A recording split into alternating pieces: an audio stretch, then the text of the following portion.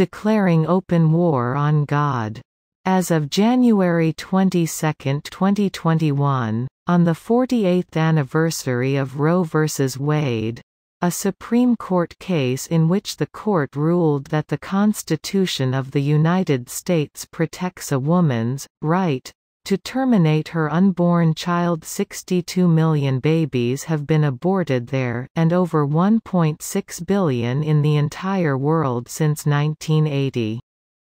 On the same day, the new administration announced in the past four years, reproductive health, including the right to choose, has been under relentless and extreme attack. The Biden-Harris administration is committed to codifying Roe v. Wade and appointing judges that respect foundational precedents like Roe. White House Statement. January 22, 2021, whitehouse.gov this codification would allow for legal abortions even in the event that the Supreme Court overturns the 1973 ruling.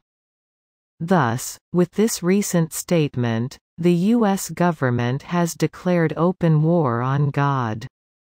For as Pope St. John Paul II warned, The Lord's question, What have you done? which Cain cannot escape, is addressed also to the people of today, to make them realize the extent and gravity of the attacks against life which continue to mark human history.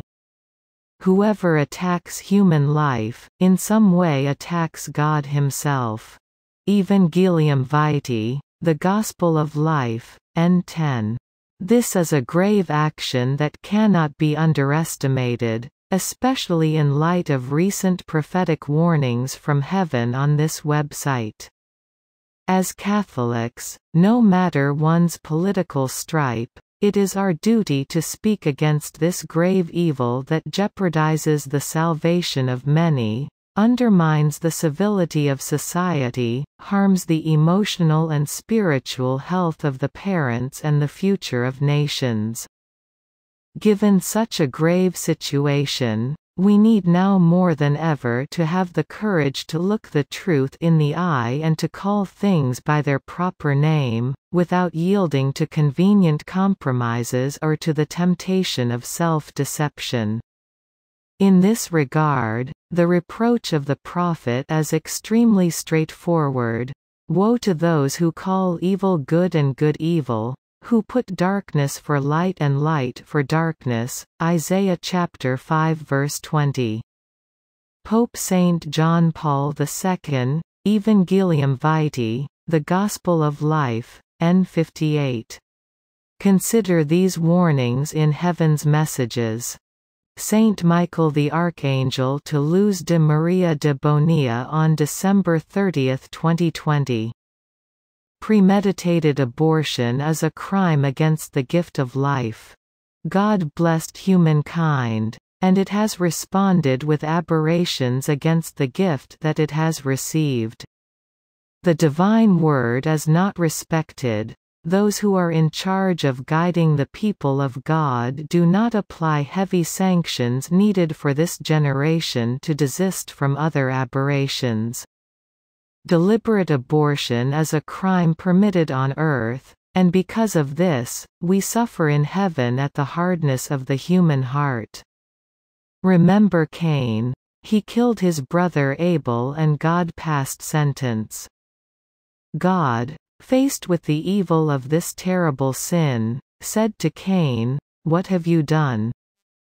Listen. Your brother's blood is crying out to me from the ground. And now you are cursed from the ground, which has opened its mouth to receive your brother's blood from your hand. Genesis chapter 4 verses 10 to 11 Whoever consents to the practice of an abortion should repent, confess, and turn away from this terrible sin. Our King and Lord Jesus Christ sees inside every human being and deals with each soul on its own. Our Lord Jesus to Jennifer on January 4, 2021. My child, those who have committed these unjust acts upon my little ones, within the womb and outside the womb, are bathing themselves in the blood of the innocent.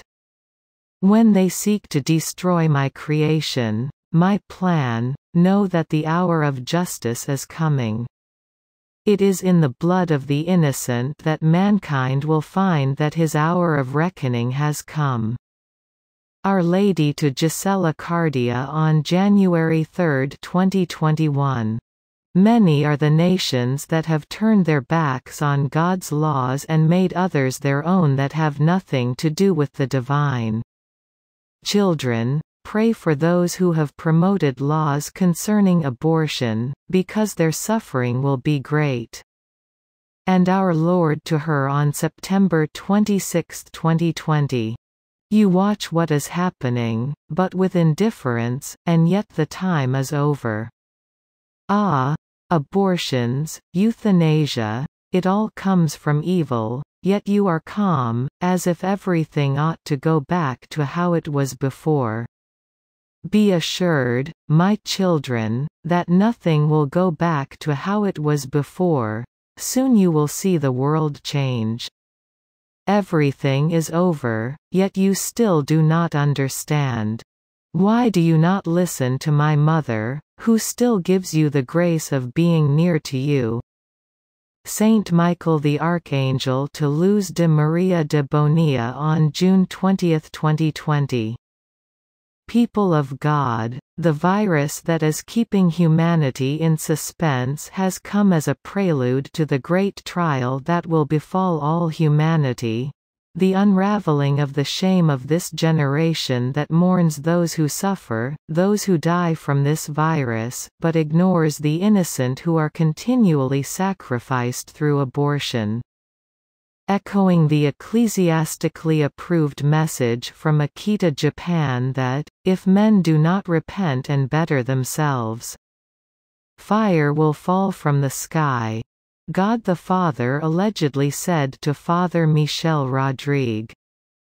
As the star, followed by the wise men, stopped over the manger, the chastisement from the sky will not hit the Christian families devoted to and protected by the Holy Family. The fire from the sky is a chastisement for the horrible crime of abortion and the culture of death, the sexual perversion, and the cupidity regarding the identity of man and woman. Finally, read The Coming Collapse of America to understand how America's role in spreading, enlightened democracies, around the world with foreign aid contingent upon other nations embracing abortion, gender ideology, etc. has, in part, brought them along with the entire Western world to the brink of judgment.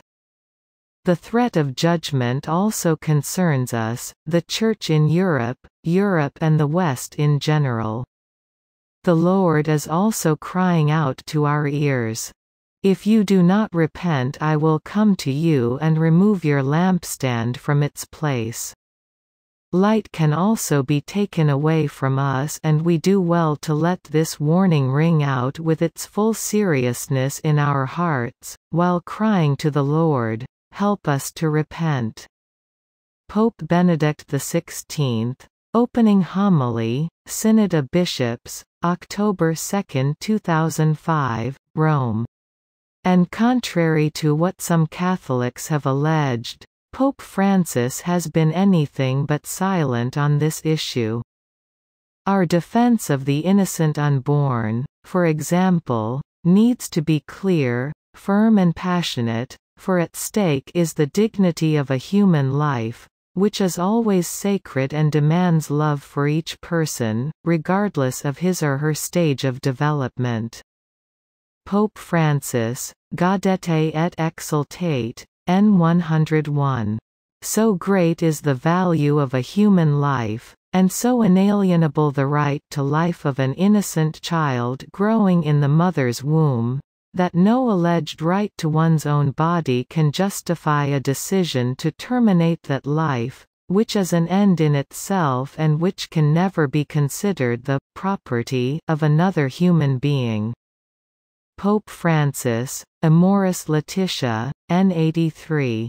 How can we genuinely teach the importance of concern for other vulnerable beings, however troublesome or inconvenient they may be, if we fail to protect a human embryo, even when its presence is uncomfortable and creates difficulties? If personal and social sensitivity towards the acceptance of the new life is lost, then other forms of acceptance that are valuable for society also wither away. Pope Francis, Laudato Si, N 120. In the last century, the entire world was scandalized by what the Nazis did to ensure the purity of the race. Today we do the same, but with white gloves. Pope Francis, General Audience, June 16, 2018, iol.co.za. Getting rid of a human being is like resorting to a contract killer to solve a problem. Is it just to resort to a contract killer to solve a problem? How can an act that suppresses innocent life be therapeutic, civil or even human? Pope Francis, Homily, October 10, 2018, France24.com